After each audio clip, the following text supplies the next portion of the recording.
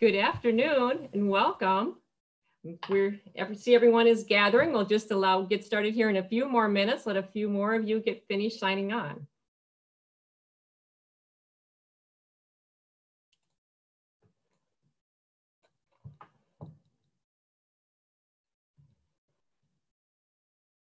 All right, here we go. Good afternoon. I'm Trixie Ann Goldberg. I am the Director of Development for Academic Medicine here at Banner Health Foundation. Having had a chance to visit with so many of you who are joining us today, I'm so pleased that you are with us. I know you are going to take a lot away from today's discussion. It's my pleasure to introduce our host and moderator for Notes from the Rhythm section, Dr. Michael Fallon, who is chair of the Department of Medicine at Banner University Medicine, Phoenix. As chair, Dr. Fallon provides executive leadership to many of the multidisciplinary Banner Health Institutes here in Phoenix, including our Heart Institute. Dr. Fallon has been instrumental in advancing excellence in Banner's flagship academic medical center. Dr. Fallon also serves as Executive Director for Clinical Research and is an award-winning professor. Dr. Fallon's medical training includes Yale University School of Medicine, Yale New Haven Hospital, and University of Virginia School of Medicine. Good afternoon, Dr. Fallon. So, so thank you, Trixie Ann. It's really a pleasure to be here. I, um, so as I was looking over this last night, uh, my wife, who's a, a classically trained singer, um, said, "Oh, notes from the rhythm section. I, I really want to be on that." And so then I told her it was what it was going to be about, and she said, "Okay, forget it." So um, um, she, uh, though, uh, when I showed her some of Pete's and Mike's and Wilber's slides, she was really intrigued about what's going on. And so it's really a pleasure to to be part of this group um, and, and to bring to you this uh, this notes from the rhythm section. Uh, next slide, please, Dorothy. So I wanted to first frame our discussion tonight around this concept of academic medicine. Many people uh, see academic medicine the way I see these buildings. The building on the left is the new Banner University Medical Center Phoenix, which is our flagship academic hospital, but it's really where we provide clinical care. And we have uh, Banner University physicians, community physicians, and then, and then physicians across the valley who provide care. So many people see clinical care in one building. The building on the right is our uh, University of Arizona Bioscience Research Partnership Building, linked to our Banner University Medical Campus, but it's a research building where we see um, advances in translational medicine, where we use cell culture, where we um, do experiments um, and, and look at genetics and genomics. And so when many people think of academics, they think of, well, you're, if you're academics, you're doing that stuff in the copper building. And if you're a clinician, you're doing stuff in the hospital building. So next slide. Uh, so what I'd like to, to, to, to change this framework is to say, one of the key pillars of academic medicine is superb, innovative clinical care. And the base of that is clinical skills. Um, everyone has to be extremely well trained and have clinical skills. But it requires innovation, technology, research, and education to move the arrow further. And then when we put all that together, we're, we're able to provide world-class care, create new knowledge about how to make people better, and then more effective therapies that are safer, and then we also train the next generations. So the two blue arrows on the bottom really define what happens in academic medicine broadly. And in the field of electrophysiology, this doesn't happen in a copper building away from the, from the hospital. It happens in the hospital with the three people that you're going to hear from today. So I would, when you think about, well, what could I do or how can I support academic medicine? you just look at the two arrows on the bottom. We need to be able to innovate, create new technology, use it, uh, apply research and education so that can we can end up with world-class care, new knowledge, more effective therapies, and train the next generation of superb academic clinicians. So that's what academic medicine is about. And as you hear uh, Pete and uh, Wilber and Mike talk about what they do, you can, you can place it within this framework of academic medicine. Okay, next slide. So the first talk tonight is, is going to be by Pete Weiss on robotic navigation and electrophysiology, uh, partnering with technology in the care of patients. So Pete uh, has been a member of the Banner University Medical Center U of A team since September of last year, after working for 14 years at Salt Lake for Intermountain Healthcare. Dr. Weiss joined the team to support Dr. Su in building a world-class EP program within the growing Banner U of A partnership. His assistance furthers the development of BUMCP into a true academic and clinical center of excellence. Dr. Weiss's title here, you can see, uh, is his uh, title is Director of Ventricular Arrhythmia Management and Robotics. And this highlights his interest and extensive experience in taking care of some of the most complex and challenging arrhythmias and in working with advanced technologies in robotics. So uh, Dr. Weiss, excited to have you here. Uh, thank you very much, uh, Dr. Fallon. Really appreciate the opportunity uh, to speak with you all uh, and uh, really the opportunity to work in this incredible facility with so many wonderful people, hopefully building the future of medicine in Phoenix and, beyond. Um, if we could go to the next slide.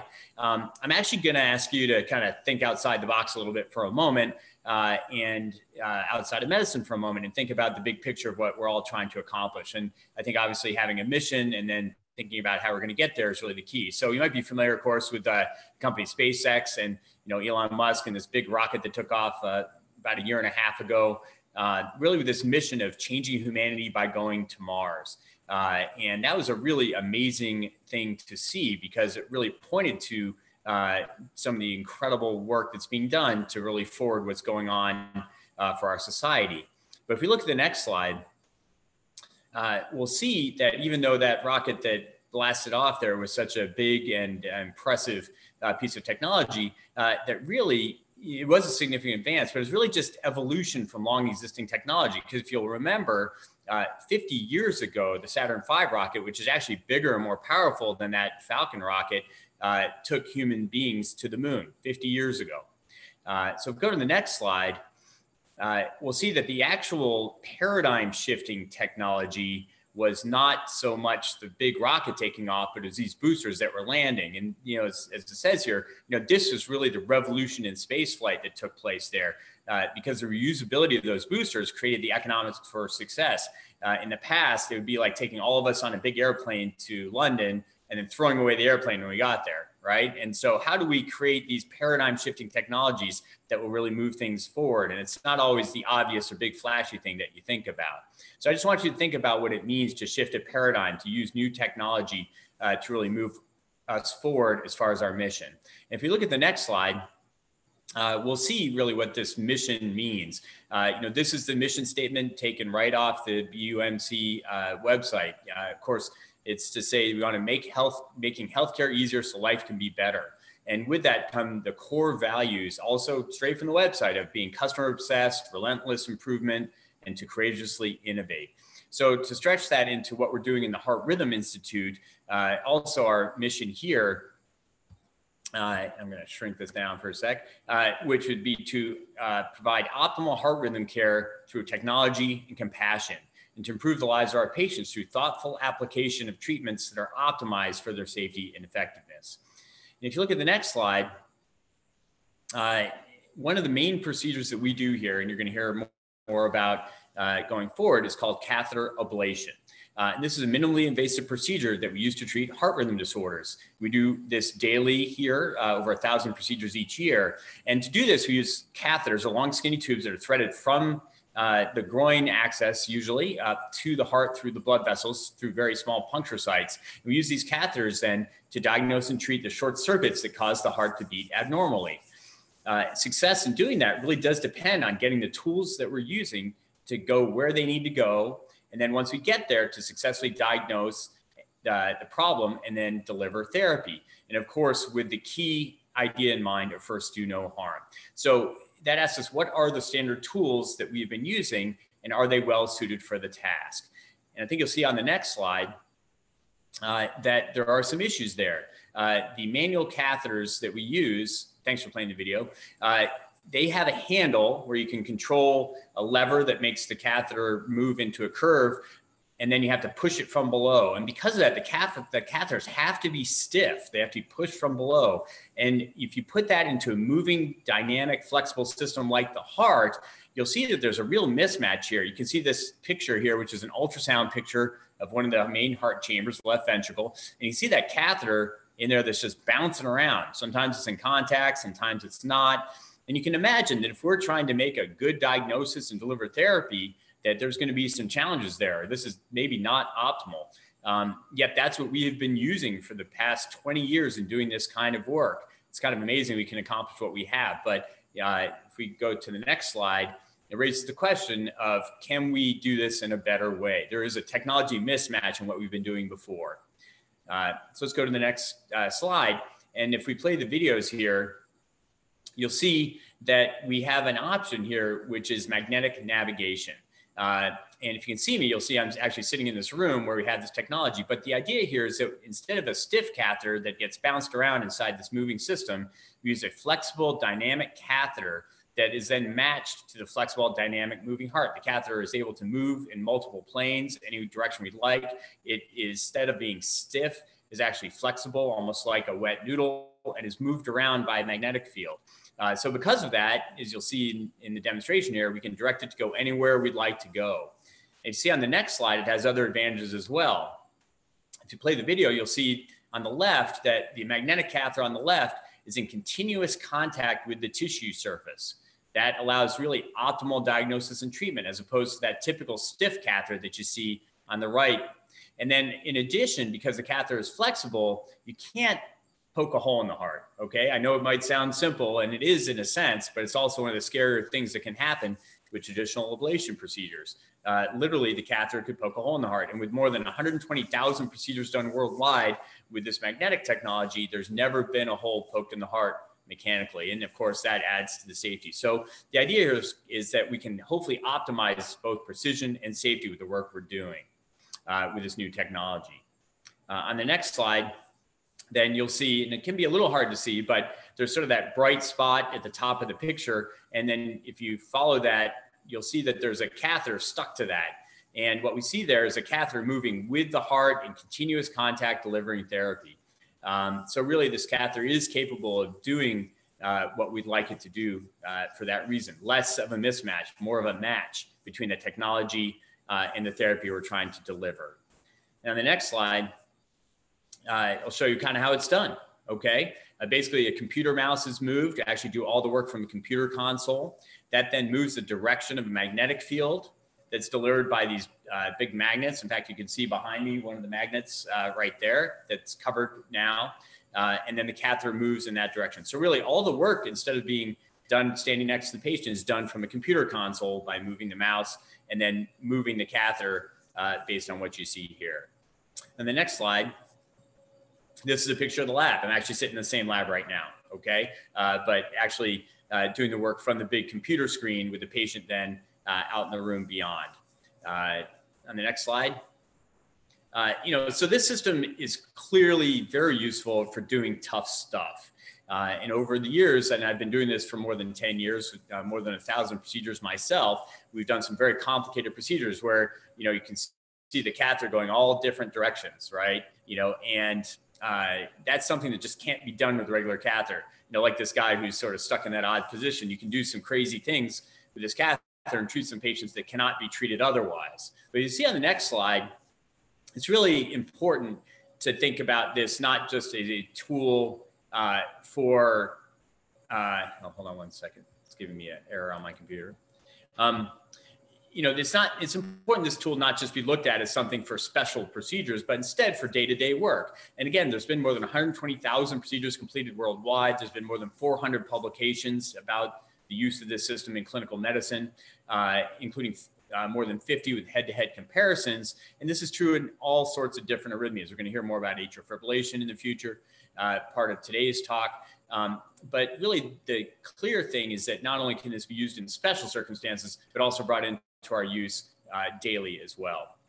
In our next slide, uh, we'll see some of the neat things uh, that can be put together because we've got the technology now allowing us to navigate in the heart safely and accurately. What happens if we integrate that with advanced mapping, advanced imaging, which lets us better understand the anatomy that they're working in? Go to the next slide. So, you know, this is an example of one of our advanced mapping tools. And won't go into this too much detail, but, you know, we have these incredible systems now that let us understand the heart rhythms better in real time. Uh, here we're seeing what it looks like to demonstrate atrial fibrillation, a complex arrhythmia in the heart, by looking at color coded graphics showing the direction of electrical flow and that sort of thing. So if we go to the next slide, uh, we also here see this is actually a procedure we did in this new lab just a couple weeks ago where we brought in uh, advanced CT imaging in three dimensions to interface with our three dimensional mapping and then move around using this computerized system all together. Uh, and you can really see the advancements that are being made in our ability to understand what we're treating. Go to the next slide. Then, you know, if we put together then this advanced technology allowing us to move around in the heart, get where we need to go and deliver therapy once we've mapped, integrate that with advanced mapping, then we develop tools that are really coming together to bring the next step, what you might call medicine 3.0 here, to really bring automation to patient care.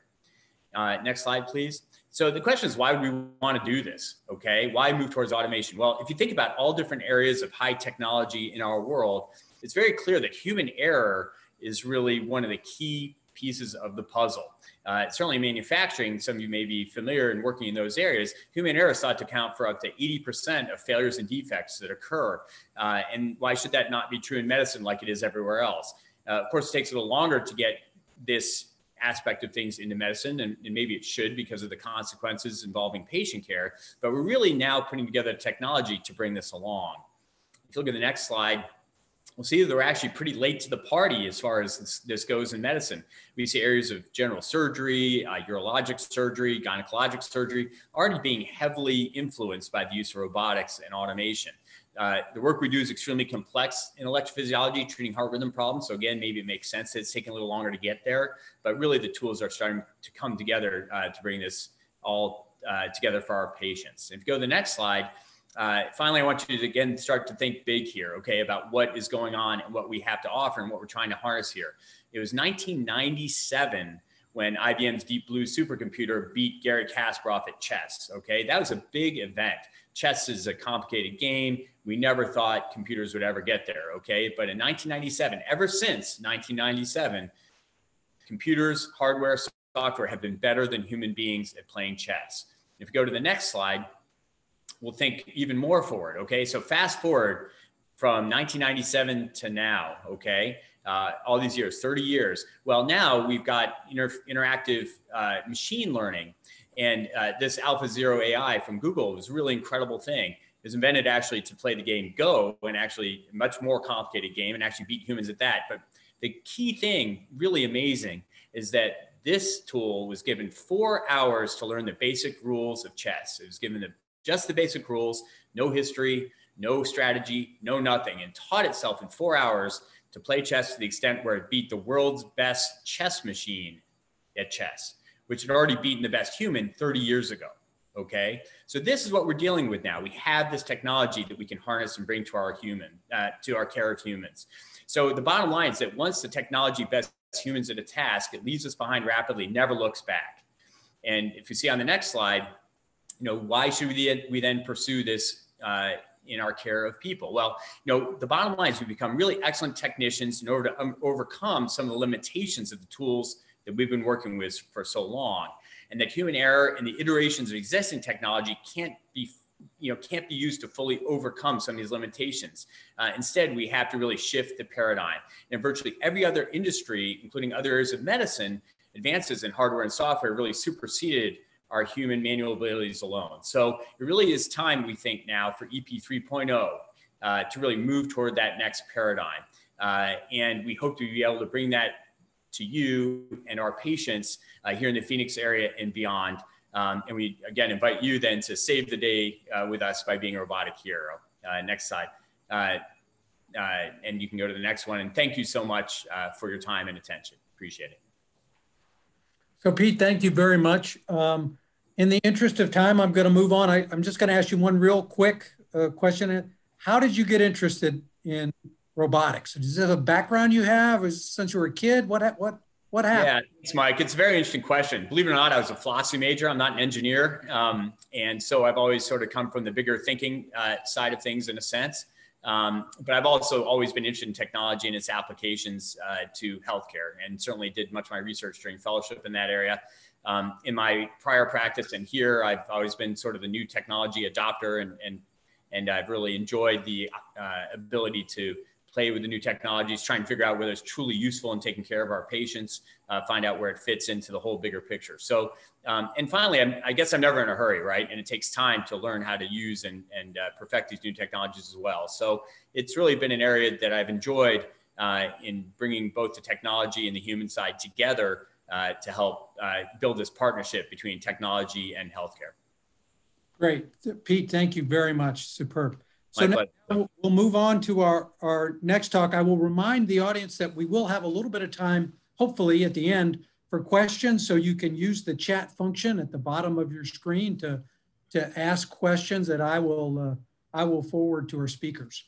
So our second speaker is uh, Dr. Wilber Su. Uh, Wilber is, is, is, really the uh, uh, Director of Cardiac Electrophysiology, Banner, Banner University Medical Center and an associate professor of medicine at the University of Arizona and at Stanford University Medical Center. Um, Wilber's really been our uh, leader, uh, developed the program uh, from its inception. He has a background in biomedical engineering and a biomedical engineering degree from Massachusetts Institute of Technology and received his training at Mayo Clinic Rochester uh, for medicine, cardiology, um, clinical investigator fellowship and cardiac electrophysiology. He's been an incredibly high volume operator and served as a training physician in both implantable cardiac devices and complex uh, ablation around the globe, notably in atrial fibrillation. He's recognized as a key thought leader around the world and a leader in cryoablation, uh, cryoballoon ablation. He's personally performed over 3,000 cryoballoon ablation procedures for atrial fibrillation, the highest volume in the world uh, uh, to date.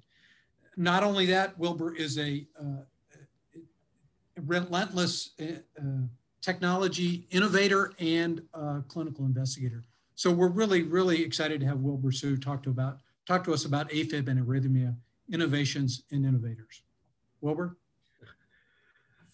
Thank you, Dr. Fallon, for the kind intro. And, you know, I just wanted to take a moment and say, you know, you can see the team of electrophysiologists that we have assembled here. And, you know, you just heard Dr. Weiss and what, uh, you know, what, what, how lucky we are to have him join Banner University Medical Center and really provide a state of the art robotic care. And really that, that makes us really the only center with all available technology in the Southwest. So know, going forward in just kind of going through to see, well, can give you a good idea of what we do. Most patients seeing us, uh, whether it's direct referral or even uh, referral from other physicians, one of the most commonly asked question is, you're a cardiac electrophysiologist. What is it that you do? And you know, what does that have to do with my heart? So just a quick diagram of who we are. And really we're a subspecialist of medicine docs. And you can see in the diagram that, you know, in the medicine, you kind of, you, know, you have the surgeons, you have the cardiologists and the subspecialty that takes care of the heart. But within cardiology, there's a, a division between the heart electricians and the heart plumbers. And we're the heart electricians because even though the heart pumps like your typical plumbing to make sure you circulate the blood around, how fast and how slow the heart goes is all determined by electricity. So anything that goes awry, we're in charge of that. Yeah, see the next slide. So there are a lot of new toys and equipment that comes with this field. And um, you may have heard that I, I was engineering major. In fact, when I um, changed my uh, career goal from engineering to medicine, my parents were quite disappointed because we already have five physicians in the family, by I think about 30 some in the extended family, and we needed an engineer. But this is probably as engineering as it gets in medicine, because as I learned more about cardiac electrophysiology while I was the engineering major doing different projects. And this is what I learned that in this field, we have technology that's challenged, engineering that's challenged to the apex of what engineering can do. And that's what makes this field very, very exciting. Uh, Dr. Weiss talked about catheter that can be moved around, and we have catheters that actually in all shapes and forms to try to do different things. Cryoballoon, as it refers to one of the common diseases, atrial fibrillation.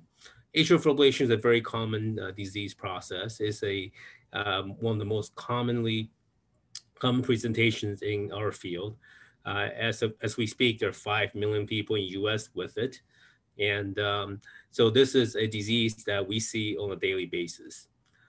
And crowd cryoballoon ablation, uh, as it turned out, was happened happens to be one of the projects I worked on 20 years ago. And one of the original patents on freezing inside the heart was actually uh, uh, produced by a lab that I worked in. So one of the first uh, catheter that was uh, used to freeze uh, tissue is I, I, actually built it out uh, essentially a garage type of thing in in Boston, where I worked with Dr. Paul Wong at that time to actually create the lesion by freezing. And this actually developed as my career developed, and this kind of came around in a full circle to where the treatment of atrial fibrillation using cryo or freezing uh, came about. So we were, so I was very eager to use this technology to be able to treat this disease process. And um, we have always been a very high volume clinical leader in doing this. So I will just highlight what we have done in this field. So uh, let's see your next slide. So this procedure and has really grown with our career so far.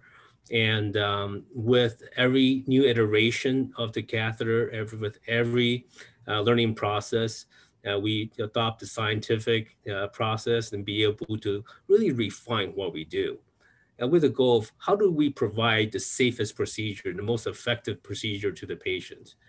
And uh, with our experience so far, we were able to first author really the guideline or the Bible on how to do this procedure. And these are the best guidelines as well as uh, adopted by uh, users around the world. Uh, next slide. And we don't stop at that. You know, we look at ways of using this technology to treat just uh, beyond what a typical AFib is. And we have ways to try to optimize the procedure so that um, any potential harm can be minimized. You know, use the least amount of radiation, uh, the fastest procedure that we can do in the left atria and still have the best outcome. Uh, next slide. So for you know the work that we have done and the volume we have done, and you know we continue to be able to provide really the latest care, and even for atrial fibrillation that's more complex, we were the leading author in an institution that has just published this trial. This actually is fresh in press and uh, hopefully it'll be in print uh, in the next month. Next slide. So the key, I think, to success in this field for us really comes down to being the leading edge of the latest and greatest. I think, you know, the ability for us as the entire faculty to have a high volume and you know, high precision and excellent team that support us in the labs really help us put uh, put a banner on the podium so far. Uh, we are, you know, both Pete and myself and Mike were leading uh, investigators in multiple trials, and uh, that really becomes a you know, leads to you know notoriety in what we do. And uh, hopefully, this also leads to uh, bringing the latest and greatest technology to our patients. So, so far, even with just a balloon that we have done, uh, we have uh, physicians that travel from around the US when US first got uh, initiated with this. So we have really taught over 300 physicians around US right here in Banner University Medical Center. We also have done worldwide uh, to Canada, Hawaii, really, we just did a live case to uh, Portugal last week uh, because you know when we look at how we you know, perform our procedure with the latest precision uh, to have the best outcome, the safest uh, process, and they actually have looked to us as the role model. Next. So this also brings us the latest technology that will bring to us. So uh, some of the new technologies, are, for example, this is the mapping vest that actually we can put outside on the patient to try to predict arrhythmias before we even get in there. Next. And recently, another company came out with a, essentially a better tool set for, and we actually just initiated a trial. And here is enrolling our first patient in this new trial. So really the key though is uh, promoting and providing the information to our patients. So this we are continuing to work on, but there are patient advocates uh, such as the AFib.org or stopaf.org, and all these different uh, websites we have collaborated with to give them all the patients the latest information on how to treat the uh, disease process like atrial fibrillation. So of course, at the end of the day, I mean, you know, the key is to have the patient outcome. That is to have the best outcome with the minimal amount of uh, risk exposed to the patient. And uh, I think ever since about um, 10 years ago, when we started with the cryo balloon ablation, on the bottom right, actually, the, what was interesting is we started seeing a lot of uh, Hawaii patients coming over really that just start with the patient. We don't advertise out there, but then the patient tells the physician that they found us. And next thing we know, uh, just about every month for a patient coming from Hawaii, and we just did one a week ago uh, from Hawaii. And uh, you might have heard the story about a patient who actually had this procedure done and he, had atrial fibrillation. There's no way that he was going to uh, skill uh, do a uh, climb Mount Everest, which was his uh, uh, one of his bucket list type of things to do. And after the procedure, he was able to train and actually was able to summit Mount Everest. So the, you know, these are the little story that kind of keeps us going, and this is what drives us. And um, on the bottom left, you see that you know, we did not make this shirt up. this this is shirt that's made by a patient. Um, unfortunately, he actually spelled my name wrong with the BUR, but that's I thought it was pretty cute but this is what really drives us in what we do at the end of the day. And um, I'll, actually, I will end right here. And uh, I think hopefully that gives a glimpse into what we have done in the atrial fibrillation world, especially uh, some of the newer technology like uh, cryo balloon. Uh, but I think that's just a little sliver of what we have done in the uh, EP world amongst everything else we do here. Thank you. So Wilber, incredible work. Um, really, really fascinating. Um, and and I love the the the innovation technologies we talked about in the initial slides uh, that's going on. So here's my question, real quick question, because I, I want to move on to Mike. But um, so how wh where do you find time to do all this? So you're you're doing you're the most high volume operator. You're doing research. You're advancing the technology. Uh, do you what, what do you do you get to see your family? What what what goes on? I do have five kids. Last time counted. so no way, you know this this this really becomes part of our life, and uh, we have uh, you know really comes with the supportive wife, right, who support what we do. We do live in the lab sometimes, but this is what we do. And uh, when you have passion for what you do, it really not, not, nothing seems like work, right? So we live here. Great. So I, I'm, I'm wonderful. I'm, I'm, I'm seeing some um, questions in the chat box. So what I'm going to do is uh, have Mike uh, Zawaneh talk to us, and, and then we will get back to, to uh, some questions from the audience. So uh, we can go to the next slide. So the, the final talk this evening uh, is from uh, Dr. Michael Zawaneh. Dr. Zawaneh has been a member of the Banner University Medical Center Cardiology Division since 2019. He's an assistant professor of medicine at University of Arizona. He graduated from medical school at the University of Florida, completed residency in internal medicine uh, and fellowship in cardiology at Case Western Reserve University in uh, Cleveland. And then he went on to complete an advanced fellowship in cardiac electrophysiology at the Cleveland Clinic. Prior to joining Banner, uh, Dr. Zawaneh uh, practiced electrophysiology in both Scottsdale and Phoenix for eight years. And he is very interested in the management of therapy for complex heart arrhythmias and implantable device therapy. Um, he's quite active in the training and education of our cardiac, uh, uh, cardiovascular fellows. And so uh, Dr. Zawaneh is going to talk about exciting advances in cardiac pacing and monitoring. Dr. Zawaneh.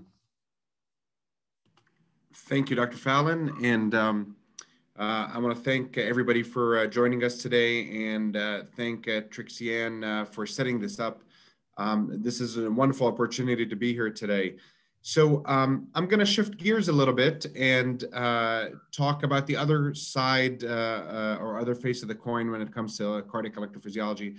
And uh, this is uh, device therapies um, that are a big part of our life as well. Uh, and you know, Dr. Su and Dr. Weiss gave us an amazing presentation and all the wonderful advances in technology when it comes to arrhythmia ablation. And um, another part of uh, our, our daily lives in the electrophysiology laboratory are uh, uh, arrhythmia managed by devices. Um, device therapy has evolved tremendously over the course of the past 60 years, and there have been many milestones in, um, in uh, uh, the, the growth and development of, uh, of pacemakers. And if we could go back just for a second, I want to show you guys um, how things have evolved. Uh, you know, in the top left corner, you see the first uh, um, mobile pacemaker where uh, uh, folks would wear it around their neck with two wires introduced through the chest into the heart. Uh, and then pacemaker evolved into the first implantable pacemaker, which we can see in the bottom left chamber, uh, bottom left corner, excuse me. And then this device um, developed over the course of about 50 years since the early 1960s until we have the implantable pacemaker, which is in the form it is today in the right bottom chamber. Um, so there've been there've been some great milestones in how we got from carrying a pacing device around your neck to having a small device implanted under the skin that provides uh, life support. So I want to show you a little bit and discuss with you a little bit of the upcoming um, uh, advances and new milestones in, in pacing uh, and, and implantable uh, heart devices, which we're very excited to have at uh, Banner University and uh, very excited to be a part of.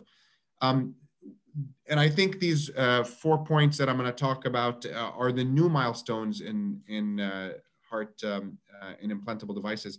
So the first, the first is leadless pacing. And um, you'll see on the next slide how the conventional way we've uh, implanted uh, pacemakers um, involved a device which was implanted under the skin in the left upper chest with a wire that goes uh, through the veins in the arm and the chest and down into the heart. And you can see the wire implant into the uh, right bottom chamber of the heart. And on the other screen and the other, excuse me, small um, uh, uh, window, you can see uh, a similar pacemaker, but with two wires going down to the heart. And this has been the traditional way we've implanted pacemakers for uh, near 40 years now um, uh, through the veins in the chest. Uh, now, the, the new and exciting technology, which you can see on the next screen, is the implantable, is the leadless pacemaker. Um, and uh, on the next screen after that, uh, you will see what this leadless pacemaker is. It's a tiny, tiny a capsule-sized device that we directly implant into the heart without any wires traversing through veins, without a device into the chest. And this entire device, which is the size of a small capsule, does uh, the entire job that a pacemaker would do. Um, and you'll see on the next slide, which I wanted to share, is how we implant uh, these devices. We deliver them uh, with a catheter through the groin and up into the heart and um, the catheter allow us to deliver this uh, small device directly into the heart. And this whole thing is a pacemaker. Um, the, the, most of the device is taken up by the battery, which lasts about seven to eight years, and uh, it uh, anchors into the heart with small little metal prongs uh, that hold it in place. And um, this has essentially taken over um, the uh, the uh, role of the single chamber pacemaker or the single wire pacemaker. And you can see on the next slide uh, how pacemakers generally have uh, the device implanted to the chest with the wires like we saw in the cartoon delivered down to the heart. Uh, and then on the other uh, window, you will see that small little device implanted directly into the heart, which will do the job of the, um, of the traditional implanted pacemaker. So this is very exciting. This offers a tremendous amount of options for uh, folks who, uh, who don't have um, the appropriate veins uh, or conduits to get us down to the heart with traditional pacemakers and have made pacema pacemaker implants really um, um, much more of a, of a feasible thing uh, in, in more complex uh, settings. Um, so the next milestone I'd like to uh, describe to you um, is left ventricular pacing. And now on the next screen, you'll see that, uh, you know, over the course of the last uh, 25 years, actually almost 30 years now, um, we've been able to pace both sides of the heart by implanting a wire on the right bottom chamber and then implanting a wire to the left bottom chamber. We cannot leave wires in the left bottom chamber because of risks of clots and, and, and strokes. So we've traditionally put these wires through tiny little veins on the back sides of the heart.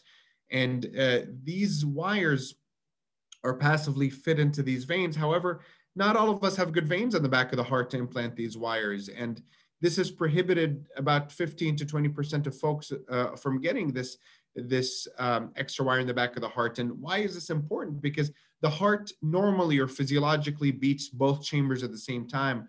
When we're only stimulating one chamber versus the other, there's always a delay in activity in the left side of the heart. And this is, this is what we call dysynchronous pacing or dysynchronous contraction of the heart. The ventricles are not in synchrony. Uh, and, and a lot of times we cannot get that wire, although we'd really like to get that wire to the left side. So you'll see on the next slide, um, this new technology that's up and coming and not available yet, but uh, we're lucky enough to uh, be gearing up to be part of the trial um, for, uh, for the implantation of this type of device, which is called the, uh, the WiSE device. And it is a small uh, pellet like pacing device, which is implanted inside the ventricle directly. It's so small and it gets covered with the natural cells of the heart within the first four weeks that they, it really is not a source of risk or stroke um, when we implant these into directly into the ventricle. And what happens is they come and as you can see on the next slide with a small transducer in the um, implanted under the skin and the chest. And what this transducer will do is it will see what the traditional pacemaker wire is doing, and then it will fire off uh, a signal to the small implantable pellet and pace the left ventricle. So this way, we're not relying on the small little veins on the back of the heart to sneak through and implant a wire. And we're using this new technology that can wirelessly pick up the signal and pace the left ventricle and regain uh, this wonderful synchrony that the heart uh, hungers for in certain times. Very important in our in our patients who suffer from congestive heart failure. Um, so we're very excited to have this coming up. Uh, now, the third milestone in pacing that is is uh, is becoming more and more popular, and we're starting to um, be a part of uh, at uh, Banner University Medical Center is His bundle pacing. So uh, to a lot of people's dismay, I'm going to take you through a quick re review of uh, the heart electrical system. And as you can see in the next slide, the wiring of the heart is, is quite simple. Um, there is a central wire, which you can see in green here that uh, goes to the middle of the heart in a relay station form and then splits down into two big cables to the right and the left sides of the heart. We call these the right bundles and the left bundles. And above these bundles, before they split, is a small electrical cable or nerve that we call the bundle of His. Now, a lot of times we have to implant pacemakers because this bundle of His becomes very diseased. And when we implant pacemakers, we cannot um, provide, we provide electricity to the heart, but again, it's not in a natural fashion. So you'll see on the next slide, we're starting to implant pacing wires directly into this bundle of His um, uh, another way for us to be able to provide synchrony for both lower chambers of the heart to beat simultaneously. Um, you know, this technology is not new. It's it's it's been around for quite some time. You know, this is the same wires that are implanted in in the upper and lower chambers. But innovatively, we're starting to implant them in the uh, directly into the nerve and hope to pace the nerve. And that way we can use the electrical ca cables of the heart to transmit electricity down to the heart naturally. Um, so we're very excited to, to be performing this.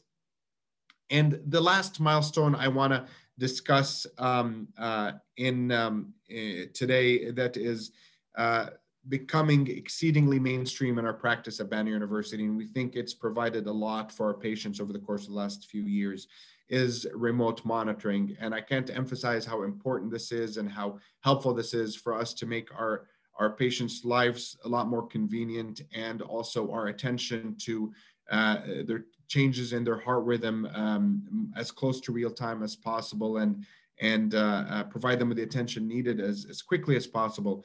Um, you'll see on the next slide uh, that um, uh, devices have been developed for us uh, to be able to monitor heart rhythms in folks without pacemakers or defibrillators. And this is just a small example and of implantable heart monitor, which is really the size of a small paper clip that we inject directly under the skin and monitors the heart rhythm. And this has been tremendously helpful in us making the appropriate diagnosis uh, for our patients with um, arrhythmias of the heart. And more importantly, on the next slide, you'll see that these devices now we can monitor with uh, your smartphone or with a small little uh, uh, um, uh, transmission unit that we ask folks to keep on their nightstand. Um, these devices are now Bluetooth enabled, just like your headsets or your microphone or your, uh, uh, your earpods, and and they can communicate with a phone via Bluetooth and basically download the data from the heart rhythm and we get uh, e direct EKGs of the heart and can review what arrhythmias our patients are, are suffering from. Um, and this has been a tremendous uh, improvement in what we can, uh, the, the time it takes us to make a diagnosis. Um, on the next slide, you'll see that um, uh, monitoring is not only important for these uh, small heart monitors, are very important for our patients with pacemakers and defibrillators. You know, as sophisticated as our devices are, there's still uh, uh, artificial devices that uh, can um, can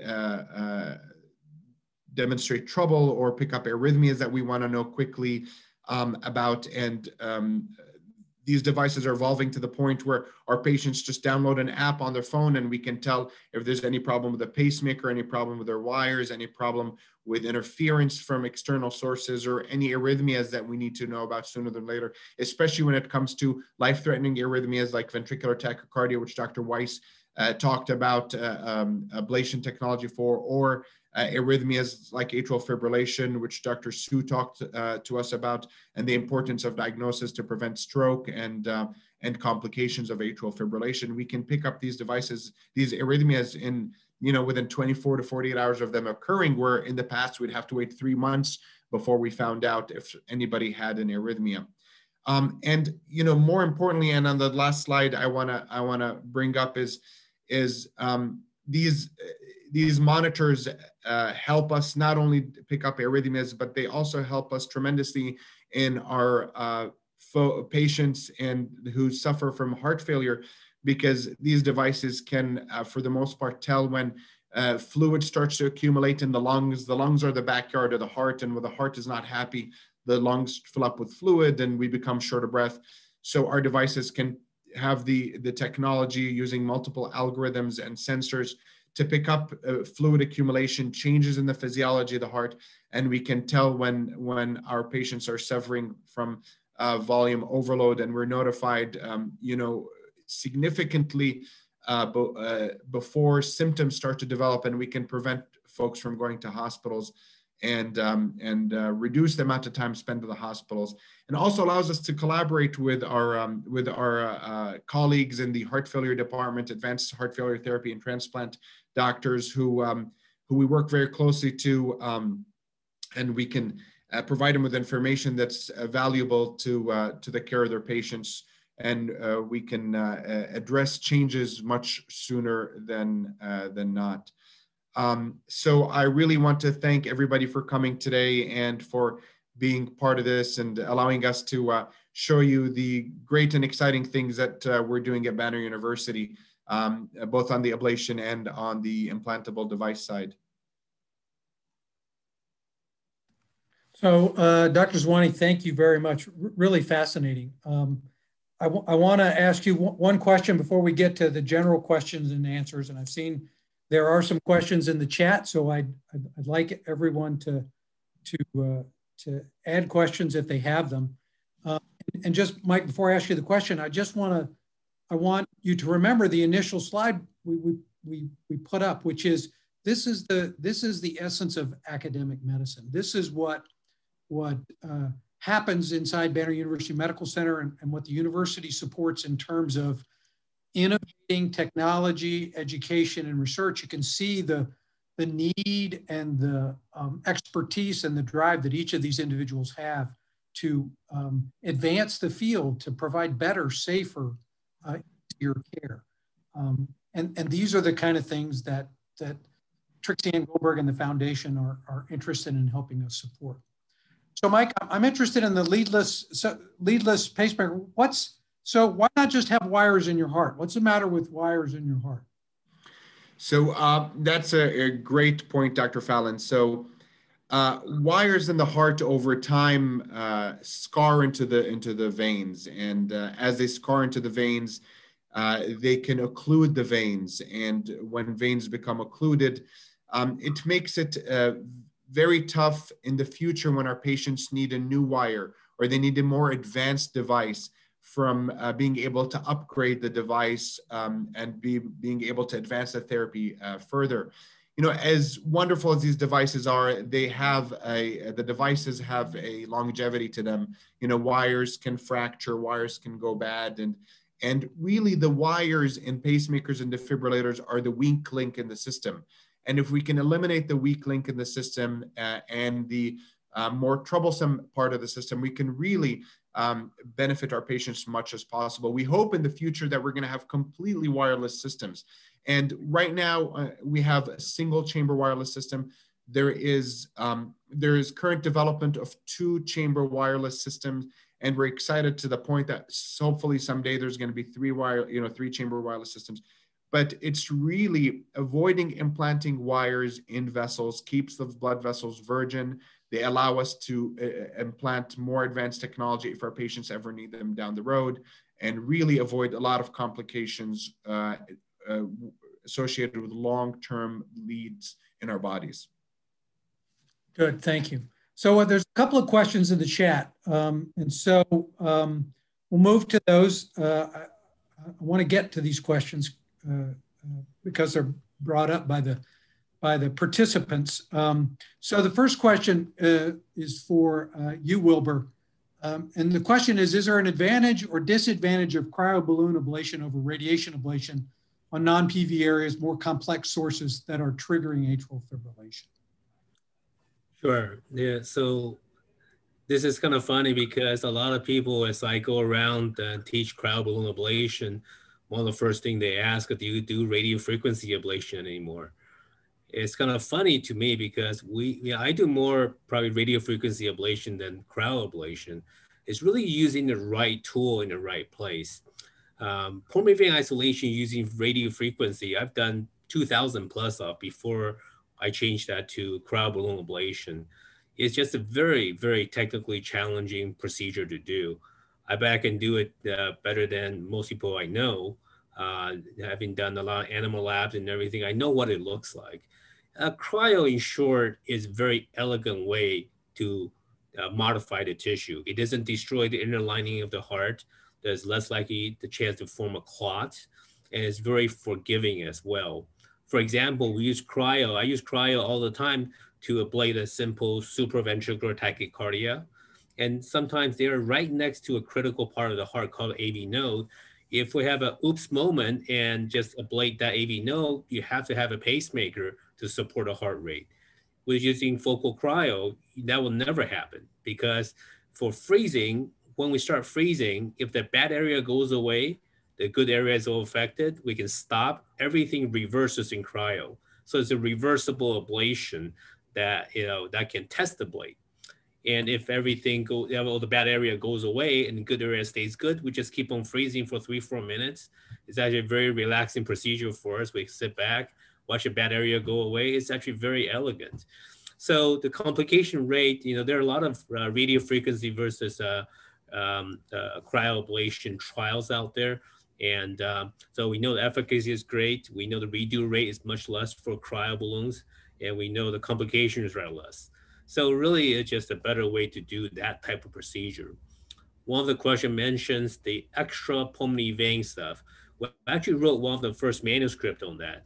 so we actually are quoted on how to do that with cryo balloon. Uh, but uh, really, it's using all that uh, different tools for the right spot you know, one of the things that uh, I have to say it's uh, nice here in the university setting is that, you know, well, we have no problem pulling both freezing and burning just to do the safest procedure in the fastest manner with the best outcome. And that's necessarily true in all institutions, you know, because they're focused on a few thousand dollar difference as if that that translates to a safer outcome difference, right? So for us, that you know, whatever is worthwhile to have the best outcome is really our goal, and we have all the tools and uh, available, right, to to just do the best procedure. Great, thank you. So there's a question for uh, Dr. Weiss. So uh, Pete, are you, you now using magnetic guidance for all catheter ablations that you do? And if not, what percentage of your ablations are, are robotically done? And are there any disadvantages to, to using a robotic system? Yeah, so uh, there's always a tendency when new technology comes along to apply them to the most complicated things first. And so, you know, certainly that is uh, a piece of what comes along.